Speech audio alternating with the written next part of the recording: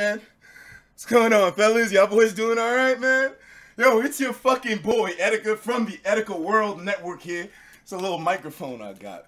I'm here to talk to y'all. Whoops.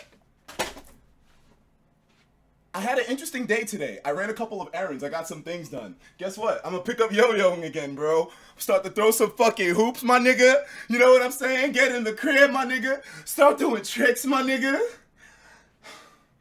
My nigga. My fucking nigga. Listen, all of y'all. All of y'all, I tell you all, I don't love y'all niggas. I don't fucking love y'all. But one thing I tell y'all is that we niggas, at least at the end of the day, that's the fiber that holds us together. You know what I'm saying? So think about this.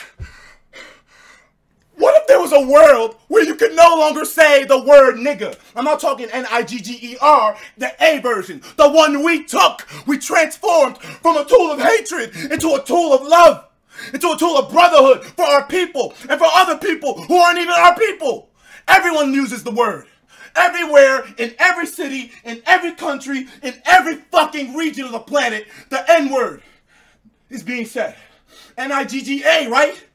Rappers, Pusha T, goddamn Travis Scott, yo, Drake.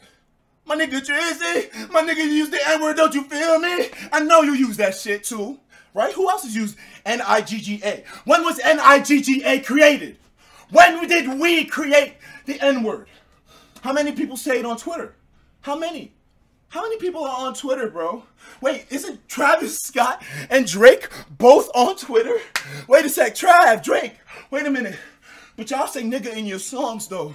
You say N-I-G-G-A in your songs. But you can't say it on Twitter, nigga. You can't say it on Twitter, nigga. Cause guess the fuck what? Hold on, Trav. Yo, Trav, yo, Driz. Yo, Trav, Driz. Y'all niggas ain't gonna believe this. My flat top is fucked up. Guess what? Yo! This is my Twitter. Oh shit, that's my Twitter. I said to my homeboy Jacob Zorcarina, and by the way, yo, Jacob, my nigga, you a homie. You a real one, bro. Oh, it was cool hanging out with you the other night, man. We was doing them diamonds, boy. You gotta get your weight up if you trying to eat like me, little nigga. But then again, you already good. You better than Alex, but then again, Alex, all he gotta do is bulk up. Anyway, back to the fucking topic, nigga.